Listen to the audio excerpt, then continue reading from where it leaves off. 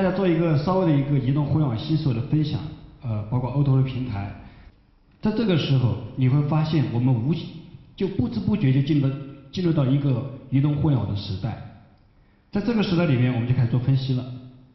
那这个时代里面，我们会看到，现在大家听到耳熟能详的一些标签，基本上你们每个人都会听到这些，尤其什么屌丝是你们最喜欢对吧？屌丝逆袭，那这里面讲用户、讲渠道、讲流量、讲粉丝。讲个性化经济，包括用户体验跟粘性、用户粘性、跨界、众包众筹，你们会听到很多这样的东西，每天都会听到，每天都讲，包括我们总理现在讲互联网加众创空间，我们总结了一下呢，就说移动互联网思维这一块，它有哪些特征？就是为什么这么一巴掌大的地方能够吸引到这么多人的眼球，不只是中国，乃至全球。那么首先看物理，在物理块面，我们看到有 WiFi。对吧？以前我们的手机为什么没这么热？基本上就打电话发发发短信，因为我们有 WiFi，没有联网，所以我们不用天天看着电话，除了电话铃响，我们才去接一下。但现在不一样，现在因为有 WiFi 联网了。第二，它很方便，随身携带。第三，碎片化、及时性。以前我们虽然有领导，如果说给你打电话，下班时间一般领导不会给你打电话的，但现在不干了，现在下班时间领导发一微信，对吧？尤其在这个工作群里面发一个。你说你干还是不干？他反正就发了，对不对？然后你说你不干吧，反正领导发了。你觉得你不知道还没事，一知道总觉得，这有一天万一领导给我穿小鞋，这就是借口了。你看你们积极性不强吧，对不对？所以这个东西慢慢就会把我们碎片化的时间，包括积极性，会把我们的幸福啊，就我们很多时间给压缩掉了。另外，移动互联网这一块它有 GPS 定位，对吧？还有重力感应。包括大数据分析，大数据分析是整个移动互联网时代现在很要命的东西，也是现在投资人特别看重，包括很火的一块东西。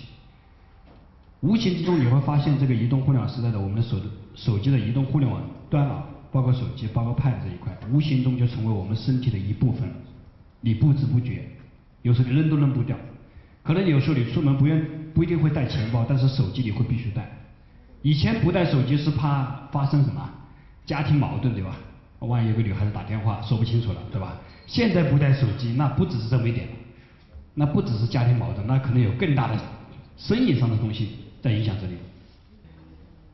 另外呢，除了这些物理以后，物理会产生一些化学反应，所以我们看一下，它会产生哪些化学的反应？一，它成本很低，效率很高。如果你手机看一下，对吧？看一分钟收费，一分钟一块钱。我们现在只是流量费，流量如果用 WiFi 的话，基本上就属于流量都是免费了。所以因为它成本很低，而且效率很高，你要跟谁发一个什么东西，很快，及时性很强，而且不收费。所以最起码它可以把短信这一块给替代掉。我们现在聊天基本上语音也好，呃，微信的聊天也好，以前的短信费、话费，我相信你们应该都会省很多，对吧？包括我自己在内，我都现在发现省了很多话费，每天的沟通效果非常的好，而且很快，因为它成本很低。另外，它打破了中心。我们现在发现很多，所以现在你看到移动互联网时代有很多，动不动就去说传统行业天天坐不住。包括我们现在上前几天还跟那个浙江那个一帮土豪玩房地产的土豪们在一起吃饭，对吧？就在谈这个事情。他说，以前他们过得挺好，挺滋润的，对吧？跑马圈地建，然后建房子卖房子，对吧？租房子，挺好玩的。以前只要有钱、有政府关系，对吧？有人脉就可以把这事干了。但现在不行，现在因为实体经济也不是很好，然后呢，天天有移动互联网在那敲他的门，睡不着觉。呃，像我们上次去呃参观过的好物中国，对吧？包括我们现在有很多这种房地产的这个中介，就移动互联网的，比如说爱屋及乌，你们也知道对吧？在地铁上也打广告的。你看那一帮以前的房产所谓的房产中介，他们就坐不住了，传统行业现在坐不住了。所以他们现在就很需要，想了解谁在踢我家的门，对吧？能不能把这个踢门的人拉进来，变成我的人，我再去踢别人的门？所以他们在干这个事情。上次跟他们也是在一起讨论这个，就说传统行业如何跟移动互联网去结合的一个事情。还有一个，他出了中介，现在你可以直接跟客户对话，把很多以前的中介的行业，现在开始慢慢的、慢慢的开始堕落了。但是堕落的不是全部，就是高端行业还是高端行业，但是现在很多平民化的市场就开始堕落掉了。尤其你们看到那个 HR 这个行业，现在就有很多，像我们平台每年收到的关于 HR 这个行业的移动互联网的项目非常的多，他们就在颠覆以前传统的猎头公司。还有去精英化，我们现在发现这个这个移动互联网时代给了我们一个人类最大的一个需求，平等，对吧？你看干什么你都不用怕人家是大佬，而且成本很低，开个淘宝店，开个微店，对吧？想创个业，干个什么，好像成本都不是很高。以前你开个实体店，没个百八十万，对吧？基本上干不了。现在不用，现在干什么事情好像门槛都很低，所以我觉得。在这个时候有个好处，大家都可以干一些事情，而且大家都可以发声音，在这个东西大家都平等的。最最要命的就是边界。以前我们的地域性很强，行业壁垒很强，现在没有了。前两天呃一月份跟万部长在市政府那个呃座谈的时候，还说了一个事情，说现在开咖啡馆的，说你这到底属于创业服务行业，还属于那个影视行业，不知道。然后你你们再看很多。地域性已经没有了。呃，举个例子啊，像我们上次碰到一个一个很偏远的地方，三线城市，我去考察的时候，你们想想都想不到，那个地方居然一个高校的食堂被饿了么给颠覆了，说食堂没生意了，学生天天拿着饿了么在叫外卖。那你说你说看看这个东西是谁敲谁的门？有时候真的没有办法，你如果不改变自己，不就会被别人颠覆掉。这就是我们这个年代讲的颠覆最多的一个事情。当然，这里面还有更多好玩的。现在我们看到有很多联盟，对吧？包括我们中创空间联盟，有很多联盟，还要整合升级。更要命的是，我们现在很多海量的信息数据，它可存储、可分析、可计算，所以它变得更加精准。现在都干一个很流行的，叫斩首行动，直接秒杀。所以这东西都源自于什么？它有大量的海量信息可以去。存储、分析，然后统计、计算，精准的计算了你是什么样的消费群体，你会对哪些东西感兴趣，对吧？比如说有钱的，他就不会推这个二三，就是普通的货给你，天天肯定找，像我们每天收到最多的信息是卖房的，对吧？银行揽存的、理财的，那有的可能天天购物的，可能推到更多的信息就是购物，啊，哪个产，包括服装行业，对吧？产品不一样。当然还有很多，为什么会造成这么多的物理特征跟化学特征，包括这么多用户的标签，而且这么流行？所以我们看到几个：开放、平等、自由、务实、高效，包括舍得，包括颠覆，包括无。看到这些所有的字面，我们估计都只是概念，因为移动互联网的时代，移动互联网的思维是必须用行动来去体验的。你可以听别人说，但是你听到的永远是别人的故事。永远是别人的故事，你自己不做，永远不知道这个东西怎么玩。所以我们自己都会自己玩。那如果讲到开放，我们讲到小米成功模式，你们都很熟悉，对不对？把它的技术端这块开始开放，从而形成了大家一个共同的参与感，然后集思广益，而且你觉得那个东西的成功是有你的一份子的，对吧？这就开始慢慢的形成了后面的粉丝经济。包括舍得这一块，我觉得大家感受最深就是三六零了，对吧？现在什么都免费，现在很多东西都是免费，还贴钱。你们看滴滴打车跟快递打车，对吧？天天还贴钱，烧钱给你们。他们在占领市场，颠覆这一块，我觉得我特别欣赏的是腾讯，能够自己把自己手机 QQ 这一块，因为它本身是有移动端的，有有手机 QQ 这一块，你看它还做一个微信迭代更新，联盟思维。是目前非常流行的一个思维，尤其在创业服务业里面。为什么大家做联盟？因为在这个时候你会发现，移动互联网它没有边界，没有地域，什么地方你发现三四线的城市你不可想象的地方，它都会有存在，都可以延伸得到。在这个时候就需要什么？大家去抱团出来，因为一个人在这个海量的社会里面是很难单兵作战形成合力的。只有大家抱团，一起从集团去打，因为你面对的是大海，而不是一一条小溪，一个人走就过去了。还有一个思维叫自由。移动互联网时代把我们真正的第一次解放到市场经济，所以你们现在看到所有的政府的改革，对吧？叫倒逼，这是政府说倒逼改革。怎么样改革？改革以前我们所谓的改革就是领导说八万亿行，那就我们按八万亿计划去做。但现在不是啊，现在你会看到很多都是从先搞试点，对吧？允许一帮市场经济市场上自由发展出来的东西，比如说给你们举个案例叫 P to P。如果搁到计划经济里面，P to P 是先拿牌照才能干 P to P 的活，对吧？干金融的活，金融是很敏感的。但是你们会发现，P to P 的发展其实很多是开始允许一帮互联网的公司去干，你们先去做，政府先不拍你就看 P to P 到底什么玩意，会造成什么样的影响，对吧？你们会是怎么干的？然后政府先允许你们存在。为什么允许你们存在？是因为以前我们的政府就希望银行天天把这帮钱放给我们的中小微企业，扶持我们的中小微企业来积极的发展。但是银行不干，银行很简单，我躺着也能赚钱，为什么要站起来？对不对？我们现在很多传统行业也面临这个问题，都赚得太舒服了。但是政府要你做，你不愿意做，行，没问题，你不做，有人会来找你做，对吧？有人会来踢你家的门，有人会让你睡不着觉。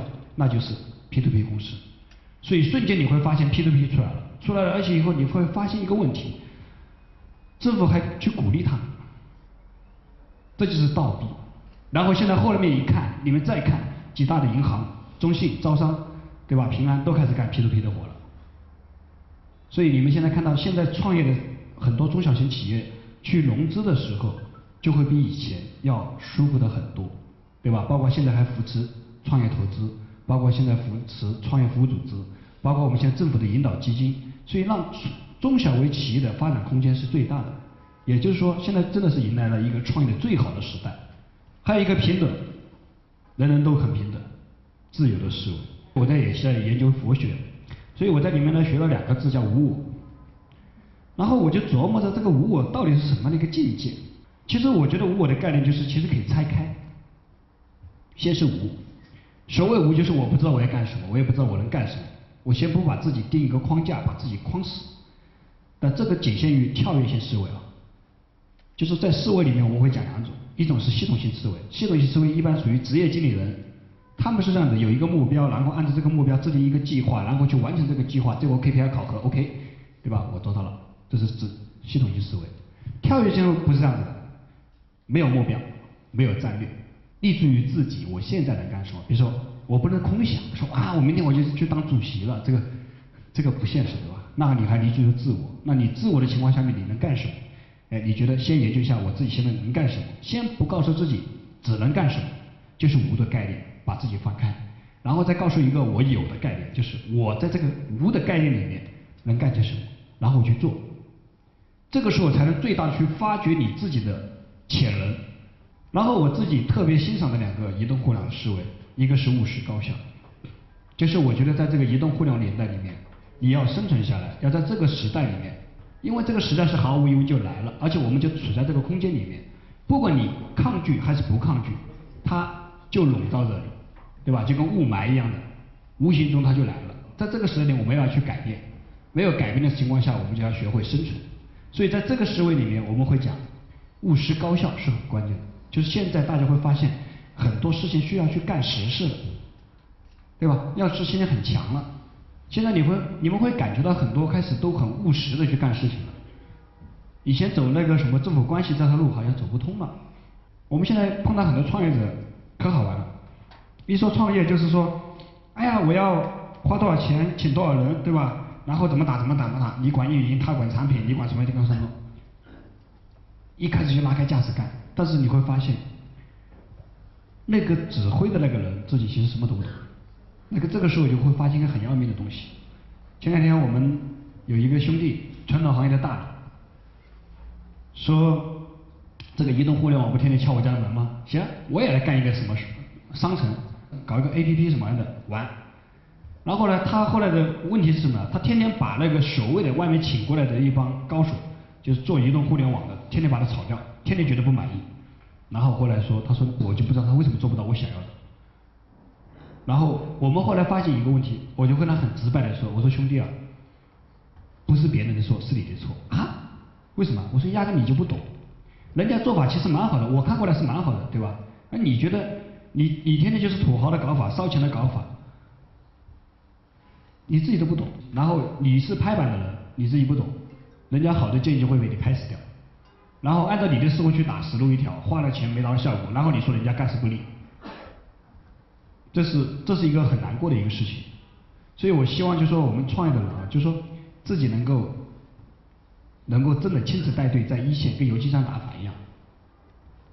另外呢，说了一个，我们现在是一个市场经济最好的时代，所以我们其实很多的项目可以从市场出发，先去了解市场上有些什么人在做些什么样的事情，有没有同样的做，然后再去定位我要做的事情肯定跟他要不一样，因为在移动互联网时代里面，它是只有老大老二，基本上没有老三的，有时候连老二都没有。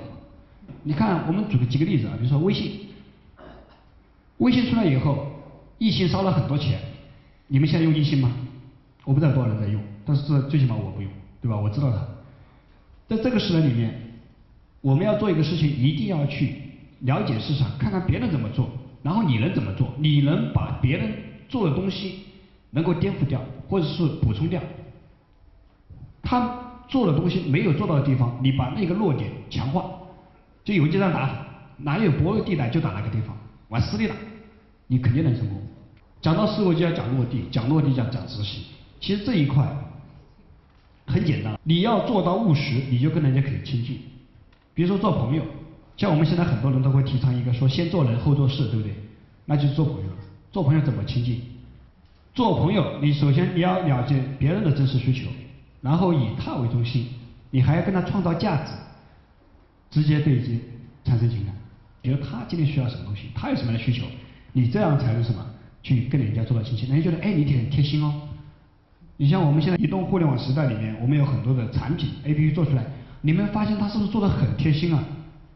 对吧？你说想吃个什么东西，他告诉你周边有些什么东西，还告诉你别人吃过的小白鼠是什么样的感受。你务实的做到亲近这块原则以后，然后就要做到什么？要做到简单，就不能太复杂。你做的太复杂，现在人都没有耐心了。要做的简单，所以效率会比较高。淘宝为什么能把传统的行业如果颠覆的那么快？你们想过没有？它肯定很轻吧，对吧？淘宝的用语就是轻。这个东西呢，其实会造成一个什么？他会跟他亲近。所以现在我也学会了很多东西。哎，你不管男孩子女孩子，我你写到那个亲啊，我觉得大家都印象很亲了。但是光亲近你，光那个称呼没有。你在做事，不做事不合作，不合作其实这个关系只是层面上，只是虚的，所以最后会大家一起合作做一些事情。所以我们现在有一个什么，实物还在线下，我们的体验还在线下的一个过程，这时候就产生了一个 O to。很多人说 O to 是不是就是我线上开一个网店，线下开一个实体店，我直接在玩 O to 其实不是，它的模式好像是 O to O 的模式，对吧？线上也有，线下也有，线下到线上，对吧？online offline 像正向反向都可以打通，其实这里面还有开环，它不是闭环，有的还有开环，会延伸拓展很多东西出来。但是这套模式真正玩 O to 的模式，其实首先就是我前面跟大家要分享的，你首先玩 O to 你要有移动互联网的思维。你仅仅在线上开一网店，现在开了一十店店，你说我就在玩 O to 没人会相信你的，因为什么？你线上跟线下能够产生更产生共轲效应吗？能产生共聚合效应吗？能有整合升级的效应吗？最关键，移动互联网时代是讲究低成本高收入的。为什么很多移动互联网的产品出来会免费，甚至贴息贴钱？仅仅是烧钱吗？没有人傻到天天去福去福利所有全社会去，仅仅是烧钱吗？不是，因为他们会把很多的成本去控制，降低。他们要做的就是降低成本，扩大收益。然后再把扩大的收益进行先前期的让利，才会产生到免费。这是一套布局，大家可以看得到，对吧？线上怎么做？先引流，当然啊，可以正向，可以反向。我们先看线上到线下，先引流转换，然后消费到存留，对吧？然后再再行一个转换，再消费，包括你反馈形成新的，包括口碑传播，包括口碑营销。但关键的问题在于什么？怎么去做？你要做到用移动互联网的思维去，先跟人家怎么样去做到让别人信任，你发的每一条东西是有人觉得是有价值的，愿意帮你传播的，不然人家干嘛去跟你引流？哎，你赚钱，我帮你做广告。你觉得现在所有的人都没有那么以前那么好忽悠了，是不是？那这里面你们会就想到用户有什么样的需求？找信息、做决策、预订预约，包括现场的服务跟现场体验。在移动互联网时代里面，现在我们几大要素：一、用户；第二，手机。时间、地点、支付五位一体全包括了。最关键后面还有一个什么呢？就是说我们现在看到很多的所谓的移动互联网的产品出来，都是释放了社会的闲置资源，然后呢产生了增值的空间。就是我说低成本高收益的去打造，你会发现他们的成本并不高。比如说你们看打车软件，一开始他们成本并不高，对不对？包括饿了么这种餐饮软件，他们都是把社会上的闲置的，比如说空置的车。来回跑，不知道客户在哪，对吧？包括线下的那些餐饮店，天天开着，但是不知道谁要吃，把这些闲置资源先整合了。因为你在整合社会的闲置资源的时候，你就会发现你的成本是最低的。然后整合以后再升级，产生增值的空间和附加值的时候，这个时候你就产生了收益。那在这个收益时候，你可以享受你的利润，这就是盈利模式的打造。然后呢，这一块模式的风险呢，我跟大家也讲一下。这里面呢有很多风险，我现在看到一些风险啊，比如说，呃，线上的产品质量和服务体验，包括风险的把控，它是非常很关键的。移动互联网时代存在的必然的风险，你永远不知道，这个速度太快了，对吧？这个坑太多了，你防不胜防。就这一块事情里面注意啊，一你现在能导流，但是也可以减，对吧？口碑这块你能口碑，你能口碑做到很好的口碑出来，同时你会发现一个问题，为什么在淘宝店里面？你给一差评，人家杀了你的心都有。你对他，因为他真的很苦。有时候你给他一个差评，你不知道对他影响有多大，可能是让很多百分之三十的人吧，我们说低一点百分之二十的客户会看了以后不敢用，不敢去买。就像我们银行的坏账一样的，你不能因为坏账而不用这个银行嘛。但是很多人不能理解这个事情，因为我们都有一个悲观情绪跟负面因素，这是人性的弱点。另外，在这个行业里面有 BAT 三座大山，对吧？这是很难超越的。那不止这三座啊，其实你在各个细分行业里面还会有大佬，每个细分行业都有。你做了一个什么东西出来，你今天做出来，明天就能抄袭。哎，如果你运营能力干不过他的话，基本上他就把你干掉了。你还在走的时候，人家就开始跑了；你在跑的时候，人家已经开上奔驰了。这个时代就这样子，所以大家都会很累，真的，你对我感非常的累。还有这一块，我跟大家分享一下。我做微信，微信那个公众号后台是我自己亲自管，网站也是我自己管。我后来发现一个问题：以前我们做微信公众号的阅读率是非常高的，后来发现一个问题：现在微信公众号的阅读越来越低。以前我们在微信群里面的反应是最快的，发一个什么东西，大家立马哇七嘴八舌就开始讨论了，大家很关注。现在你发过去，基本上声音都没有，除了发红包以外。那现在你会发现，这个这个现象。因为我们现在都处于什么疲劳了？以前一个人可能就几个群，现在一个人几百个群。像我现在一个人五六百个群，手机天天烧掉。所以这个时候我们每个人都疲劳在这个一块。所以你在线上再推什么东西的时候，你会发现你真的找不到很好的途径，你找不到很好的去。而且大家都把大量的信息做到线上去。所以这个时候我们其实到了一个疲劳期。还有一个问题，现在流量成本。以前我们有一个好的 APP 推出来，基本上你不用多大的宣传，不用不用多大的运营，基本上大家口碑传播就可以下载。但现在不行，现在你给钱，人家还卖一个面子，你下载一下，完了以后发现没用，立马给你删掉，抢完红包就给你删掉。所以你们会发现这个是没有没有办法，真的是没有办法，因为我们现在手机里面的 APP 太多了。现在你看大家还有多少人去下载？很少，除了工具型的、日常要用的。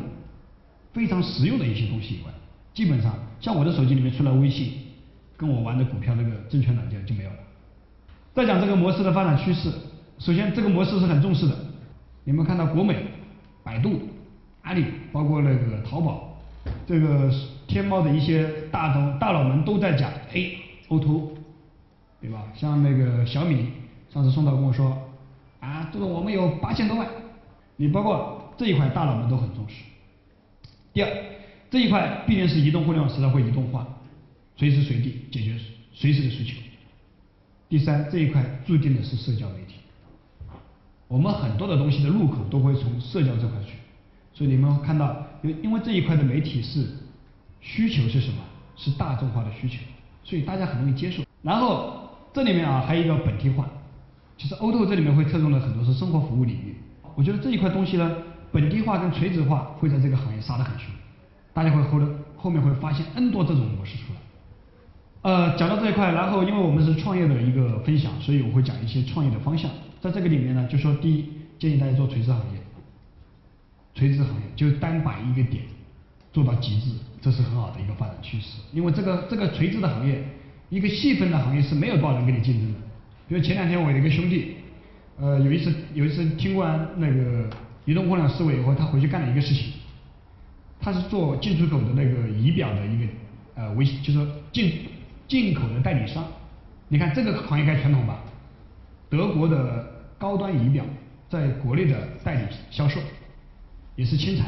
后来他说，他觉得这个东西移动互联网思维也蛮好的，可以在他的行业里面可以结合，对吧？怎么结合呢？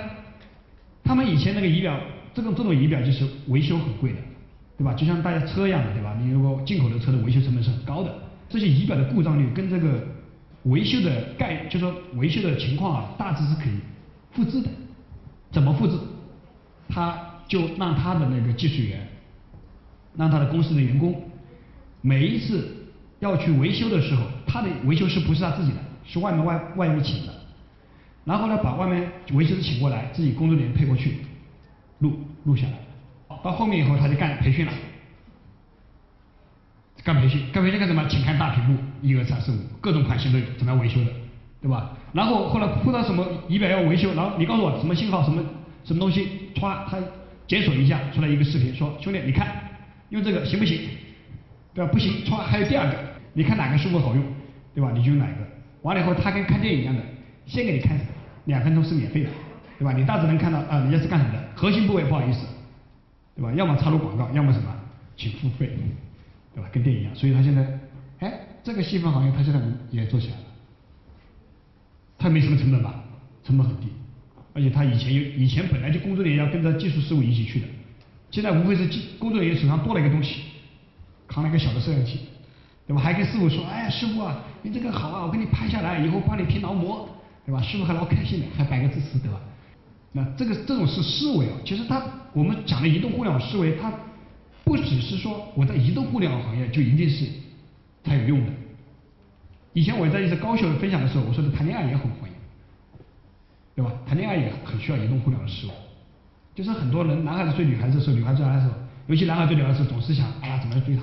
我说兄弟，你不能这么玩，你要告诉那个女孩子，你是最好的男人，你是一个好男人，那你别人来追你，你不就快乐？你老是追人家，人家其实老嫌弃的，尤其女孩子一追他，他还特特特俏的，你还老追不着，你就不追他，你告诉他你是最优秀的，但有人提示到你，你就算这个女孩子。她不追你，还有别的女孩追你，你有的选的，对吧？市场经济法则就是什么？先告诉别人你是什么人，你有什么样的能耐，然后让相关的人来找到你，这就是市场经济法。这里面我们会讲到还有一个小城市的创业，这是一个非常大的一个市场需求。我去过二三线城市做考察，然后也去过去过洛阳，去过山东，我就发现很多问题，很多的城市的创业者是在上海镀过金了再回去的。上次我跟那个张了张张丽张老师，我还跟他讲，我说我在外面还碰到你的兵了，啊，这个很正常，真的。因为到外面镀过金以后，在上海学习以后，先拼上，拼不过了，行，打游击战去，农村包围城市嘛。那个地方有大家很多发展的空间，而且那个地方是很多没有开垦的地方，那边的事物还没有这么快，地方的人还很安逸，对吧？你稍微勤劳点就比他们强。现在我告诉你们，还有一个行业叫传统行业的大佬。我现在碰到好多传统行业大佬，天天找着我们在谈一个事情，说天天有移动互联网的人说敲我们家门，踢我们家门，睡不着。他们因为看到了很多，比如说看到了阿里的上市，看到了陌陌的，所以他们现在惶恐了。所以这个也是我们现在创业的一个方向，可以跟传统行业去大的玩。但是里面有一个问题啊，必须要去沟通的一个问题就是，这帮大佬的传统思维没有你移动互联网思维，你跟他讲很多东西。你只有只有什么？你只有用事实、用数据能打败他，告诉他，他才会服，不然他压根就不服你。你跟他讲的再多没用的，因为这个人他是，这些人都是自己一路打拼过来的，然后都会觉得自己有固化的思维。如果你跟他谈新的思维的时候，你会发现很难找到共鸣，他很难认可到你。好，这呃跟大家总结一下一个理你后面的一个分析图啊，就这么一块，我们就会看到很多就是什么，产品、平台、用户。平台这块其实我们主要是讲运营这一块，其实也产品这一块是会讲到设计创造、设计跟制造、创造价值这一块，对吧？这里面会产生一个模式叫 C to B，以前都是有一瓶水，然后卖到每个每每每个客户手上，通过广告啊、营销啊，对吧？销售渠道啊、代理商去卖。现在可能会反过来做，C to B，就是说可以根据大家的市场需求来做一个产品。另外呢，讲到运营这一块，我们前面讲了 O2O 的运营模式，当然还有很多种啊，不只是 O2O，其实还有很多。其实讲到运营这一块，就是会产生三大方面，一个是信息，如何产，就说你的信息如何去广而告之，对吧？这是一个信息流。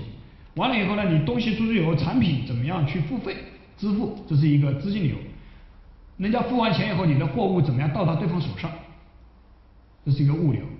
所以马云把这三个全部干了，对吧？干完淘宝，干支付宝，干完支付宝，之后干菜鸟。三个方面，平台的运营，他现在做成老大，这没人敢撼动他。这一块主要是传递价值，完了以后到了用户这一块就变成了，比如说用户会有一什么产品的功能在这地方，用户的体验，包括用户之间也会产生一个模式叫 P to P。那拍拍贷的张俊就干了这个活，对吧？把以前贷款的借贷这个关系通过互联网，他们纯粹通过互联网做的，没有线下的，像宜兴还有线下的店，他没有。所以在这一块呢，我们就会讲到产品技术创新这一块，比如说 3D 打印的，包括无人驾驶车，包括机器人、穿戴设备，对吧？智能硬件、O2O 的那一些呃，其实产品包括那个 APP 也算可以算产品。然后呢，第二个是商业模式，这块模式的创新现在是很多的。所以更多的是会讲究是行业细分的商业模式创新，另外还有一块是做客户反馈的，就做客户的创新，所以会慢慢的会出来一个什么第三方评论的一些平台，对吧？专门为客户打造的，就告诉你什么好，什么不好，到到底为什么好，对吧？哪些人在上面，比如说反馈这些，好，做一些建议啊，呃，这些建议是我个人的一些建议。首先第一，我觉得你要做创业。先了解自己，对吧？我，然后了解市场那个无的海量，你属于什么样的环境？大环境里面，在环境大环境里面，如果你不能去改变它，那么你就去学会适应它。所以我们经常说创业者很苦，苦在什么地方？好不容易看到前面一道，就说遇到一道坎，好不容易咬咬牙跨过去了，刚跨过去，发现前面还有一座坎，又咬牙又跨过去了，对吧？然后你跨过去会发现，你老是在咬着牙跨，牙齿咬碎了，发现坎还没跨完，这就是创业者，苦逼就苦逼在这个地方。有很多创业者做到，你像我们现在传统行业那帮企业家，他现在还坐不住，因为他前面又遇到一道坎，天有人踢门，搞得睡不着。我们不鼓励大学生直接，如果说你不是天生的创客，不鼓励你立马去创业。我们建议，觉得大学生你可以什么呢？先。跟着别的创业团队，因为中小企业先去学习，各个岗位都能到，对吧？这个很好嘛，风险很低，跟着别人学，去学习积累，知道外面的环境怎么回事，创业怎么回事，完以后再去创业。就像我当年做外贸也是，我开始在外贸公司里面先打造，把客户积累好了，钱我后面半年以后我自己开家外贸公司了，开外贸公司我就立马能赚钱，对吧？而且我后面的所有的收入都是正流量赚。那，这个有一些积累，你不然的话，如果贸贸然毕业我就开家外贸公司，我都不知道怎么玩，有哪些是坑，哪些是洼，哪些是陷阱，完全不知道。学习积累是创业里面很关键、很关键的一个东西。很多人都说有句老话叫“磨刀不误砍柴工”，学习好，积累好。你们不要看到现在所有的牛人，那个什么飞起来的猪，对吧？那个什么上市的马云，包括这帮人，你可以去看看人家积累了多少年才爆发出来的。而且一将成名万死枯，还有多少人死在路上，没有人知道，对吧？连墓碑都没有一个。再讲到创意，这一块啊，就说现在投资人很多说，很多人问我说，投资人到底喜欢投什么样的项目？首先第一，很多人投资会第一句话就是说，你这个项目到底解决什么样的需求，对吧？能够产生什么样的价值？所以能够解决什么样的问题？实际能解决吗？第二，创业需要很长的市场领域，这个真的是非常非常强的一个关键度，就是别人看不到的商机你能看得到，别人想不到的东西你能想得到，所以别人赚不到钱你能赚到，就这么简单。当然这里面有一个生命力跟执行力是特别关键的。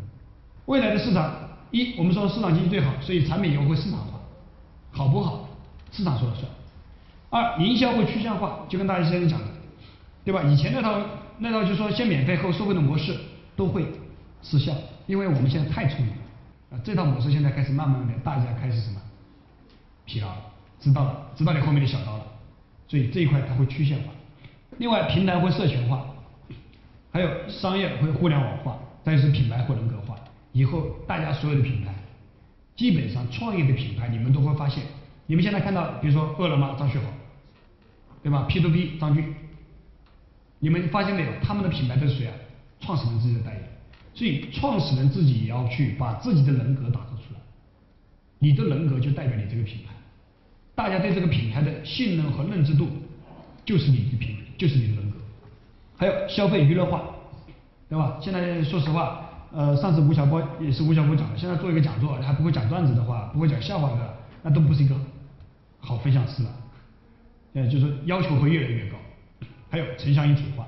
另外呢，这个是我在大学里面经常去考证的一个九零后的一个标签。那这帮九零后以后会是我们的创业的大军，也是我们消费的群体，因为他们有这一些标签以后，会注定他们是一个很适合创业的一个群体。但是他们的命脉在什么地方？九零后有这个创业的思维，有这些创业的基础条件，但是他们最缺一个关键的东西是。实战，吃的苦，吃苦耐劳将会是他们创业的一大绊脚石。就很多九零后的思维想得很好，很开放，很 open。我看过很多九零后的项目，比如说做 PPT，他们做的东西能够很炫，三 D 呈现。我们上次看到一个项目做项目路演，那你你又不用先不听他讲，你就看那 PPT 就觉得很赞，三 D 的唰唰唰唰唰就出来了，非常流畅，而且这个讲了更好玩了。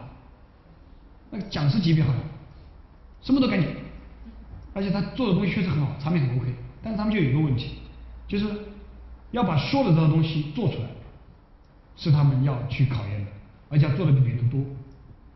好，这就是我今天跟大家做的一个分享，谢谢大家。